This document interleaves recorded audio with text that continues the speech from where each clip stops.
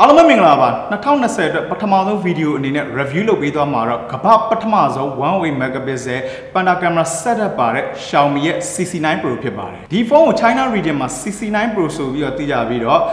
global version မှာတော့ Mi Note 10 Pro ဆိုပြီးတော့သိကြပါတယ်ကျွန်တော်မြင်ရတော့ဒီဖုန်းကတော်တော်လေး feature rich ဖြစ်တဲ့ဖုန်းလို့မြင်တယ်ဆိုတော့ဗီဒီယိုလည်းအရန်ရှည်မသွားအောင်အားလုံးလည်းစိတ်ဝင်စားမယ်သူ့ရဲ့အဓိက selling point ဖြစ်တဲ့ကင်မရာပိုင်းကိုဦးစားပေးပြီးတော့ပြောပြသွားမှာဖြစ်ပါတယ်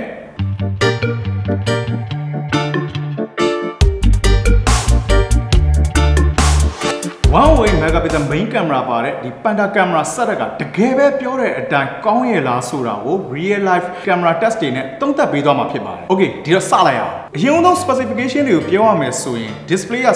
6.47 inches AMOLED display resolution ကတော့ Full HD+ ရှိတယ်။ camera အနောက်ဘက်မှာ one way megapixel main camera 12 megapixel 2x telephoto portrait camera 20 megapixel ultra wide camera ပြီးရင်5 megapixel 5x telephoto camera နဲ့နောက်ဆုံး2 megapixel super macro camera တွေပါပါတယ်။ကျန်တဲ့ hardware spec တွေကတော့ Snapdragon 730G SoC ကိုသုံးမိထားတယ်။အခုကျွန်တော်ကင်ထားတာကတော့ RAM 8GB ROM 128GB version မှာ battery ကတော့9260 mAh ပေါအောင်ပါတယ်။ design ပိုင်းက aluminum frame glass sandwich design သုံးထားပြီးတော့ Huawei P30 Pro နဲ့တော်တော်လေးဆင်ပါတယ်။ design ပိုင်းကလည်းတိတ်မကွာဘူး။ camera oriented ဖုန်းချင်းအတူတူပြောရရင်ဒီ budget P30 Pro လို့တောင်ပြောလို့ရမှာထင်တယ်။တခုပဲကွာသွားတာ P30 Pro က IP68 waterproof ဖြစ်တယ်။ဒီ CC9 Pro ကတော့ waterproof မဖြစ်ဘူး။ SIM slot က dual nano SIM slot ပါပြီးတော့ micro SD card တော့ထပ်ဆိုင်လို့မရဘူး။အောက်ဖက်မှာ mono speaker USB Type C port နဲ့ 3.5mm audio jack တွေပေါင်းပါတယ်။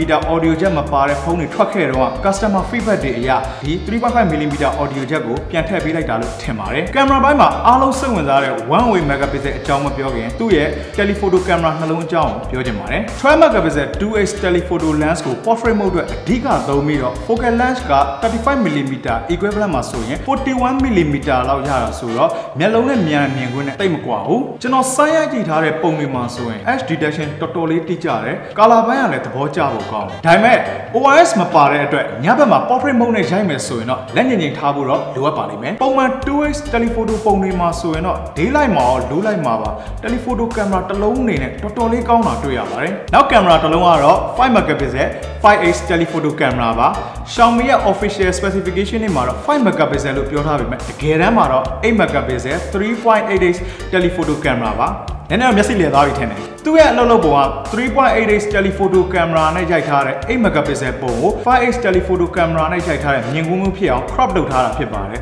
ဆိုတော့ specification တွေထဲမှာလိုပဲ5 megapixel 5x telephoto camera ဖြစ်သွားတယ်လို့ပဲယူဆလို့ရပါတယ်ဒါပေမဲ့ crop လုပ်လိုက်လို့ရလာတဲ့5 megapixel photo ကို8 megapixel resolution ရအောင် upscale လုပ်ပြီးမှ final output ကိုထုတ်ပေးလိုက်တာဖြစ်ပါတယ်ဒီ telephoto camera မှာ OIS ပါလာပြီးတော့ image quality ကလည်းတော်တော်လေး solid ဖြစ်တယ်ပြီးရင်တော့ camera တစ်လုံးချင်းစီရဲ့ sample photo တွေကိုပြပေးပါမယ် 5x တက်ပို့ပြီး zone ဆွဲခြင်းနဲ့ဆိုရင်တော့ 10x hybrid zone နဲ့ digital zone 58ထိဆွဲပြီးရိုက်လို့ရပါတယ် 20 megapixel ultra wide camera ကတော့ image quality ဘက်မှာတိတ်ပြီးတော့စိတ်တိုင်းမကြဘူးအနားဆုံးနေမှာ distortion ဝင်ပြီးပုံကဝါးနေတာမျိုးက wide angle camera တွေမှာတွေ့နေကြ issue ဖြစ်ပေမဲ့ တချို့ပုံတွေမှာ center sharpness ပိုင်းနဲ့တိတ်အားမရဘူး2 megapixel super macro ကတော့ subject နဲ့ထိလို့နီးပါးထိကပ်ပြီးရိုက်လို့ရပြီးတော့ color ဘိုင်းမှာတော့ကျန်တဲ့ camera လေးလုံးလောက်ဆိုးဆိုးပြပြမရှိတာကိုတွေ့ရပါတယ်ဒီလို macro camera တတ်တတ်မထားဘဲနဲ့ Huawei Mate 20 Pro မှာလို့ ultra wide camera နဲ့ macro mode ရိုက်လို့ရအောင်လုပ်ထားမယ်ဆိုရင်တော့ပိုကောင်းမယ်ထင်ပါတယ် Okay နောက်ဆုံးကြံတာကတော့1 megapixel main camera ဖြစ်ပါတယ်108 camera megapixel များတယ်လို့ sensor size လဲပုံမှန် smartphone camera တွေထက်တိတိတသားပိုကြီးတဲ့1 by 1.33 inch size ကိုသုံးထားပါတယ်ထုံးစံအတိုင်း low light performance ကောင်း pixel binning လုပ်ထားတဲ့အတွက် normal photo mode နဲ့ရိုက်မယ်ဆိုရင်27 megapixel photo ပဲရမှာဖြစ်ပါတယ် 27 megapixel ဆိုရင်တော့မှ smartphone camera တစ်လုံးအတွက်လူတာထက်တောင်မှပိုတယ်လို့ပြောရလောက်ဒီဒီပိုင်းတော်တော်လေးကောင်းတာကိုတွေ့ရပါတယ်။ low light မှာလည်း noise နည်းပြီးဒီဒီကောင်းတဲ့ပုံတွေရိုက်လို့ရပါတယ်။108 megapixel mode အပြည့်နဲ့ရိုက်မယ်ဆိုရင်တော့ဒီဘက်ဘေးမှာ108 megapixel mode တီးခြားပေါအောင်ပါတယ်။108 megapixel photo တွေကဓာတ်ပုံရိုက်တုန်းကသတိမထားမိလောက်တဲ့အသေးစိတ်တွေအထိဇွန်းဆွဲပြီးတော့ကြည့်လို့ရပါတယ်။108 megapixel နဲ့ရိုက်တဲ့ပုံတစ်ပုံရဲ့အရွယ်အစားက14 meg ဝန်းကျင်ရှိတဲ့အတွက် crop လုပ်ပြီးပြန်သုံးမှာမဟုတ်ဘူးဆိုရင်တော့27 megapixel mode နဲ့ရိုက်တာသည် file size နဲ့ image quality balance ဖြစ်တဲ့အနေအထားလို့မြင်ပါတယ်။နောက်တစ်ချက်က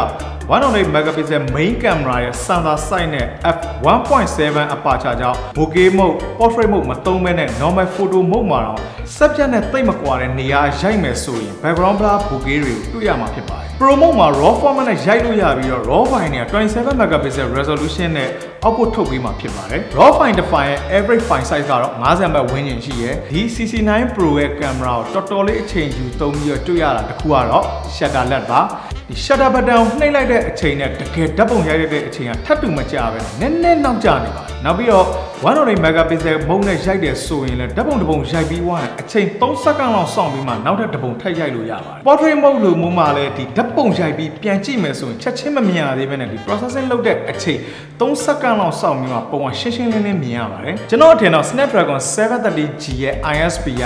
108 megapixel camera ကို ပေါ့ပေါ့ပါပါ handle မလုပ်နိုင်တာကြောင့်လို့ထင်ပါတယ် LED flash ကတော့ပုံမှန် dual LED flash နဲ့ dual soft light LED flash ဆိုပြီးတော့ flash ၄ခုပေါင်းပါတယ်ဗီဒီယိုပိုင်းမှာ 4K 30p quality ထိရိုက်လို့ရပြီး main camera ultra wide camera telephoto camera ကြိုက်တဲ့ camera နဲ့ရိုက်လို့ရပါတယ်ဒါပေမဲ့ video record လုပ်နေတော့မှတော့ camera တစ်လုံးနဲ့တစ်လုံးပြောင်းလို့မရပါဘူး selfie တော့32 megapixel camera ပါပြီးတော့ selfie quality ကလည်းတော်တော်လေးကိုကောင်းတယ် okay ဒီဖုန်းမှာ camera ဘိုင်းအပြင်တခြားဘယ်အပိုင်းတွေရောကောင်းသေးလဲ display လည်းတော်တော်လေးကောင်းတယ်ရိုက်လိုက်တဲ့ပုံတိုင်းကြည့်လို့ကောင်းတယ်ဒီ display ကြောင့်လည်းပါပါတယ်ပြီးရင် performance ဘိုင်းမှာလည်း Snapdragon 730G ရဲ့ performance ကလည်း smooth ဖြစ်တယ် battery ကလည်း